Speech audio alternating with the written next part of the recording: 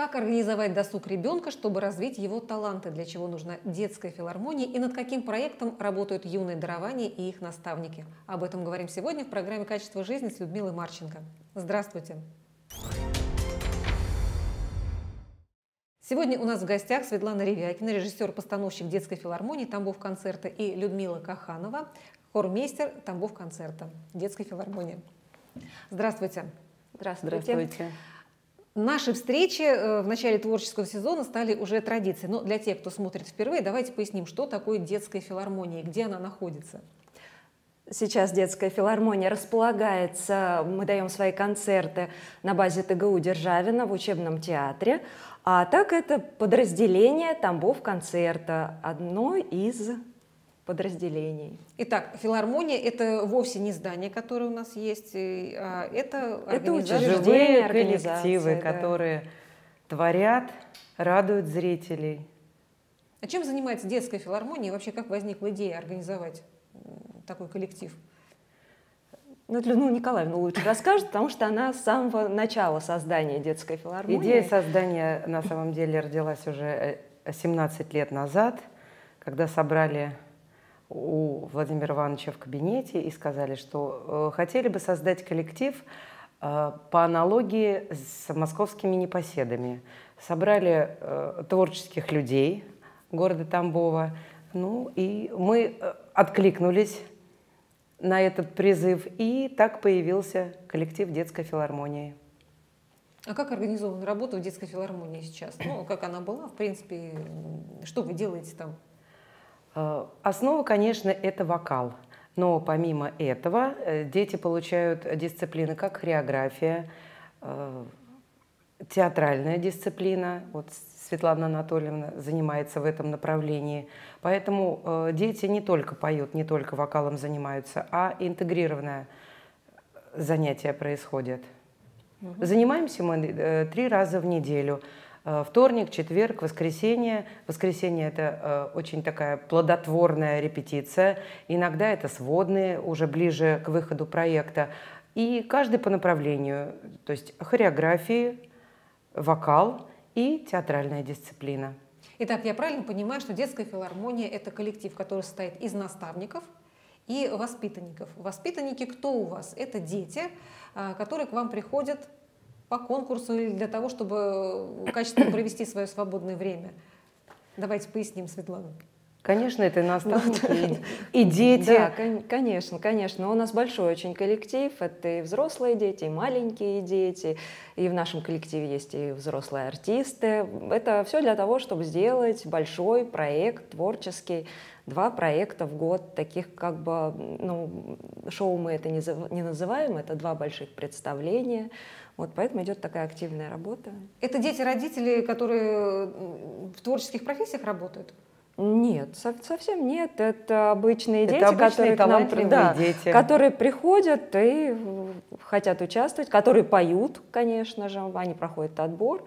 И тех, кого приняли, они все участвуют. И ежегодно, два раза в год. Ну, в общем-то, наши двери открыты э, на протяжении всего учебного процесса нашего проходит прослушивание, мы даем анонсы о наборе детей. И, конечно же, много деток приходят, но отбор проходит далеко не все, потому что так как мы уже концертная организация, и мы берем детей талантливых. То Но... есть вы не хоровой кружок, вы не танцевальный кружок, не драм-кружок, а дети должны прийти уже немножко подготовленные. С набором какой... определенных навыков, конечно.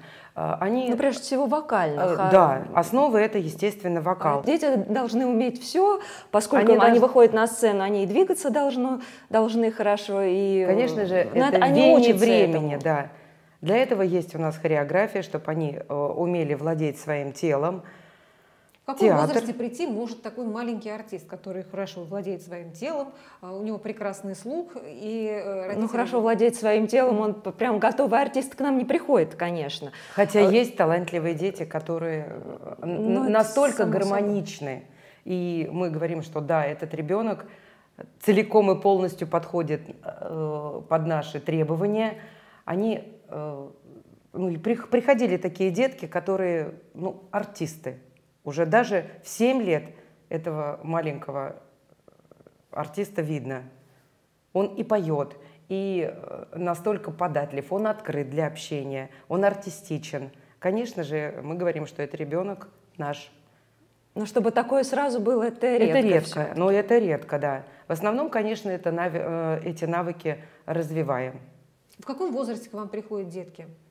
Приходят и в 7, и в 6 звонят, чтобы прослушали, но, к сожалению, э, в 6 лет а, мы говорим о том, что психологически ребенок не готов, э, и физически он не выдержит тех нагрузок, которые у нас есть.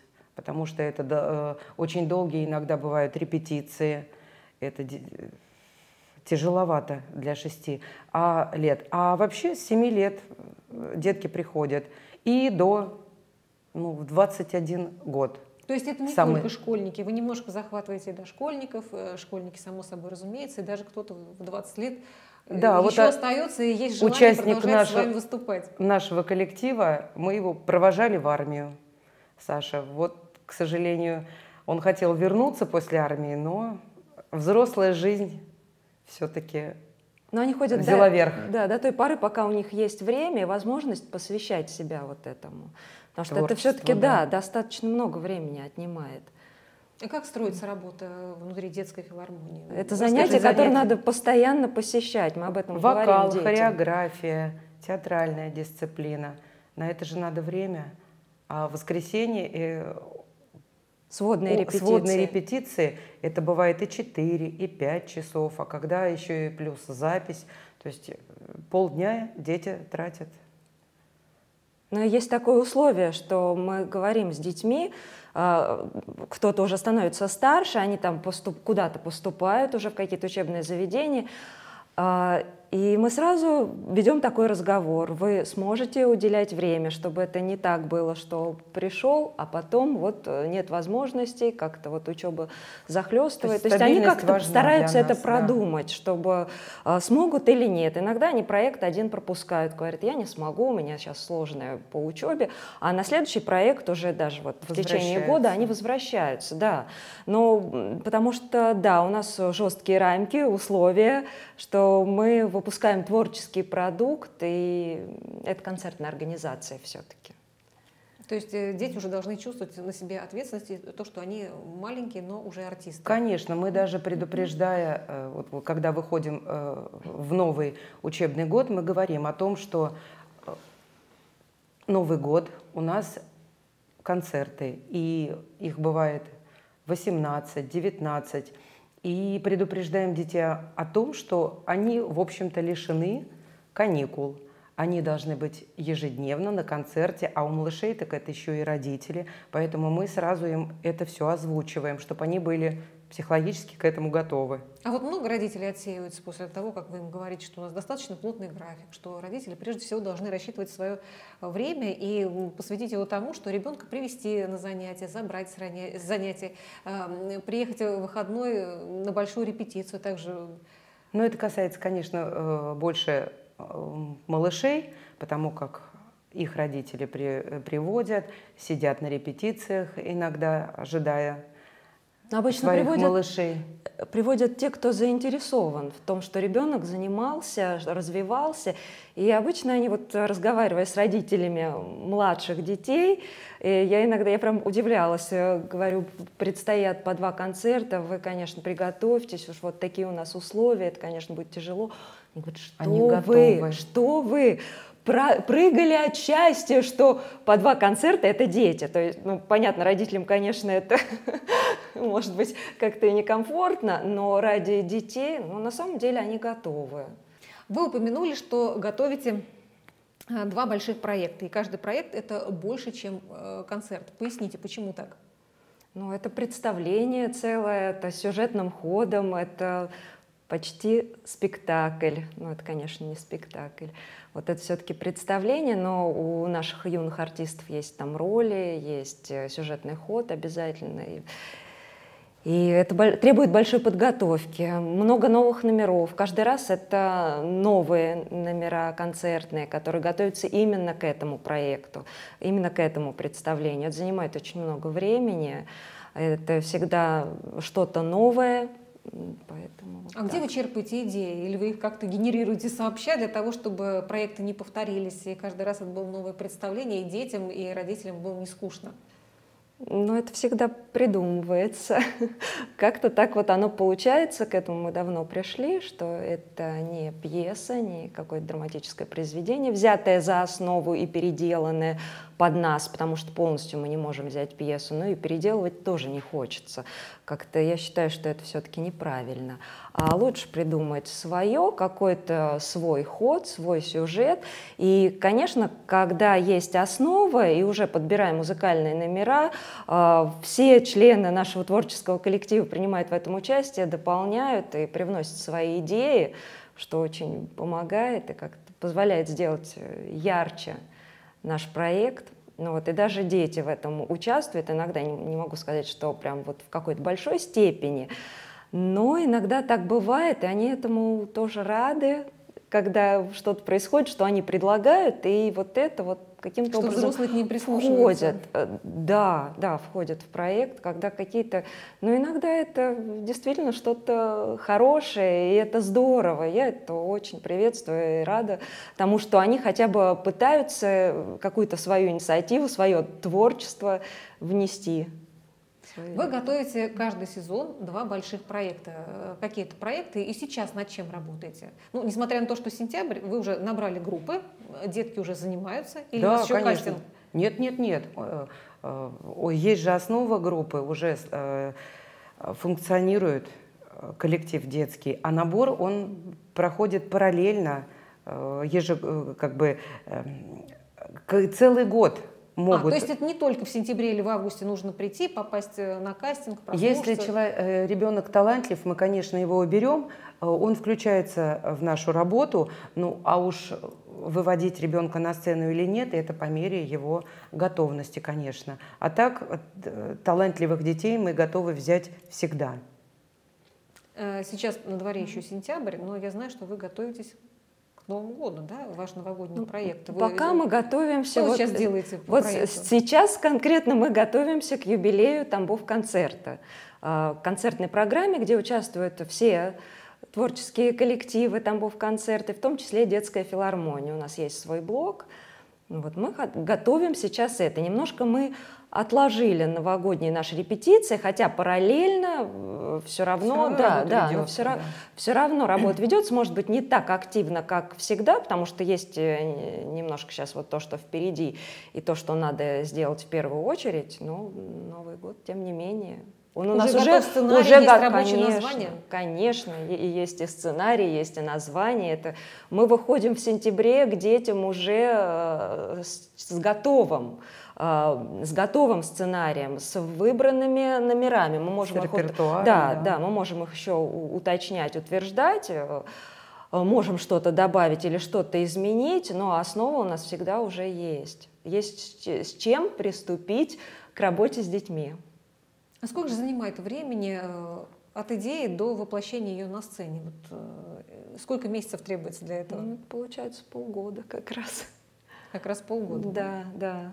То есть новогодние у нас, наверное, даже больше как-то занимает. Ну даже, да, все по, по полгода. Даже уходя в отпуск, такой... Э, у Светланы Анатольевны, как обычно, уже появляется какая-то задумка к следующему Новому году. И, по сути, все лето э, мы, как руководители вокальной группы с Аллой Викторовной, мы уже э, ищем репертуар, подыскиваем, слушаем – постоянно в интернете, постоянно какие-то новиночки. То есть э, работа не прекращается даже в отпуске. Да, то же самое делают хореографы. Тоже подбирают, думают, то есть все в таком в тесном что контакте. Репертуар mm-hmm. это, наверное, самое важное и сложная задача в проекте. Да, Потому что хочется, чтобы э, были разножанровые песни, разнохарактерные, а, а еще хочется, чтобы и родителей порадовать, какие-то, может быть, хиты использовать в нашем проекте. То есть э, э, репертуар, видимо, наверное, для каждого коллектива это сложная сторона работы. И причем это надо все подвязать, чтобы это все подходило к общей идее. Всегда это тоже сложно, и всегда это такая кропотливая работа и вокалистов, и хореографов. Подобрать не всегда просто то, что нужно. А какая главная идея, вот, за которую зацепились вы в этом году, и что, ну, если можно немножко так приоткрыть завес тайны? Ну, я думаю, что можно. Это у нас будет город игр, империя даже такая игр. Э, называет, будет он называться Легоград. То есть такие новогодние приключения в Легограде у нас будут. И в этот сказочный город попадают обычные дети. И, а Дед Мороз, он главный волшебник, как всегда у нас такое основное действующее лицо. А, он художник, он творец, он собирает новогоднюю мозаику из часов, дней, минут, из радости, печали, из улыбок и, может быть, слез. Вот. А, и когда вся мозаика соберется, то, конечно же, наступит Новый год. Но если какой-то одной, даже маленькой детали в этой мозаике не будет, то ничего не случится. И вот происходит такое несчастье, что один пазл этой мозаики теряется, исчезает, и весь сказочный город находится в большом волнении, в поиске этой детали, иначе это просто катастрофа, не будет Нового года, не будет праздника, не будет радости, да и дети не повзрослеют, если да, год не закончится и не наступит новый. Вот. И герои сказочного этого города — это игрушки, Лего-града, то есть это игрушки Лего, игрушки конструктора, которые сами же дети делают, но они живые в сказочном городе.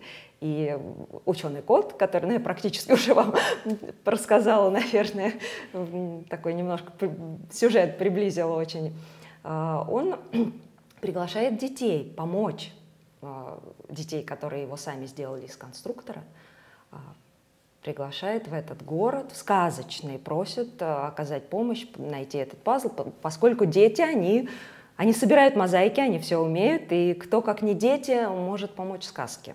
Как вам удается организовать работу детей? Потому что дети в вашем коллективе э, от 6 до 17, там, до 18 лет. Как, как все вместе их связать? Может быть, вы поделитесь секретом, который будет даже полезен учителям в школе. Либо у вас особые дети, э, которых организовывать не надо. Нет, дети, они э, талантливые, это раз. И дети, они всегда дети. Ну, вся вокальная группа у нас делится на младшую и старшую. Э, младшей занимается Алла Викторовна, со старшей группой занимаюсь я.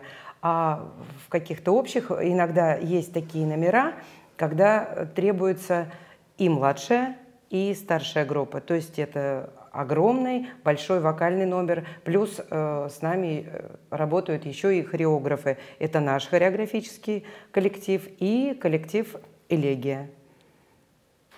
То есть дети, которые занимаются хореографией, они также должны уметь петь. И э, ваши Нет. певцы то, э, тоже танцуют. Скорее всего, э, у нас же вокальный коллектив детской филармонии. И поэтому эти дети должны как раз-таки уметь двигаться. Они у нас еще и танцуют. И причем заметен огромный рост в этом направлении. И а отдельно уже взрослый коллектив хореографический, которые не поют, они только хореографы. Но мы сейчас подошли к такому вопросу, с кем вообще сотрудничает э, детская филармония? Кто ваши тесные помощники, участники ваших представлений, проектов? Очень тесно мы сотрудничаем с нашим лекторием, со взрослыми артистами, участвуем у них в проекте. А еще и в новогоднем проекте участвуют они с нами. То есть это главные герои. Одни из главных Одни героев. Из, э, из главных героев, да. Они и наши вокалисты. В этом году очень популярны концерты променады, которые проходили перед э, филармонией. Детская филармония участвовала в них? Конечно. Да. Э, мы участвовали не э, целиковым блоком, а были отдельные наши номера в контексте вот этих променад, вечерних променадов перед нашим зданием филармонии. И народ как-то очень хорошо отзывается. Народ, наверное, жаждет, жаждет видеть артистов филармонии, потому что действительно это достойно, это красиво, это высоко. Итак, дети, которые занимаются в детской филармонии, у них э, их рабочий график построен так же, как у взрослых артистов э, сезоном. Да? Это творческий сезон, но летом они также в чем-то у вас участвуют. В июне они всегда участвуют. Это, во-первых, концерт «День защиты детей». Мы обязательно принимаем участие. А, либо сами целое представление в этот день даем, либо мы а, участвуем в каких-то городских, областных мероприятиях, посвященных Дню защиты детей. А, вот. Э, и это конкурсы, где у нас дети принимают участие. День а, города. Это день города, да, когда нас приглашают. Ну, какие-то отдельные Выездные выступления. концерты были. Да, вот у нас был в Котовске. Котовске да, Котовская фестиваль. фестиваль. Я знаю, что участники вашего коллектива выступают не только на концертах и участвуют в проектах, но и также выезжают на конкурсы э, всероссийские Центрального Черноземья. Расскажите, пожалуйста, об этом и каким результатом можно похвалиться. Да, действительно, э, работа ведется у нас здесь, но помимо этого дети много ездят по конкурсам. Это Москва, это Липецк, это Воронеж, э, Котовск – и занимают э, достаточно высокие места. Это дипломанты и первой степени, и второй степени, гран-при. Э, в прошлом году наши малыши завоевывали. То есть результаты, я считаю, что достаточно высокие. Людмила Николаевна, вы отслеживаете судьбу воспитанников э, детской филармонии? Кто в дальнейшем как-то связал свою жизнь с искусством? За много лет работы нашей детской филармонии, э, много детей мы уже выпустили, и очень отрадно и приятно э, отслеживать то, что даже если э, наши выпускники не идут по профилю музыки, выбирают себе иные профессии, но тем не менее творчество все-таки в жизни присутствует. Ну а есть и те, которые отдали творчество, творчество и э, стали воплощать его Профессии. в музыкально-педагогической деятельности. Выбрали это как основу в своей жизни. Много выпускников, которые преподают, которые занимаются музыкой, либо э, создают какие-то свои коллективы. Очень приятно. Значит, работаем мы не зря. А почему ребенку важно заниматься не только э, точными науками, английским языком, но и также посещать вот э, кружки, которые развивают музыкальное направление личности? Искусство вообще важно для развития ребенка. Это коммуникативные навыки приобретает он, развивает какие-то э, свои э, когнитивные способности ребенка. А это же основа вообще э, для создания в дальнейшем зрелой, полноценной личности, потому как э, только искусство, наверное, э, так развивает душу, способность мыслить креативно, иметь запас каких-то эмоций, переживаний, сопереживаний. Конечно же, это для личности положительные моменты. А, в конце программы давайте еще раз напомним родителям, э, которые считают, что их ребенок талантлив и готовы привести его на прослушивание к вам, куда можно прийти, а, какие задания выполнить и что в дальнейшем ждет ребенка, как будет построен его рабочий график. А, анонсы мы даем э, в интернет-ресурсах, а прослушивании даем контактные телефоны. Э, тот, кто считает возможным, тот, кто считает себя поющим, может позвонить по этим номерам, э, договориться о прослушивании. И на прослушивании ребенок должен приготовить какие-либо две песни, желательно разнохарактерные. Но бывает и так, что либо взрослые, бывают, к сожалению, сейчас такие, которые не находят минусовки, э, возникает какая-то проблема – Ничего страшного в этом нет. Ребенок может прийти спеть какую-то понравившуюся ему, любимую песню, может быть, даже современную, и исполнив ее при прослушивании. А поющего ребенка сразу, конечно, и слышно, и видно. Поэтому если нет минусовки, готовой какой-то э, песенки, ничего страшного. Спасибо большое. Я напоминаю телезрителям, что сегодня в гостях в студии «Качество жизни» были Светлана Ревякина, режиссер-постановщик детской филармонии Тамбов концерта, и Людмила Каханова, хормейстер. И мы говорили о том, как развить детский талант и чем занимается детская филармония в Тамбове. Это была программа «Качество жизни» с Людмилой Марченко. До встречи.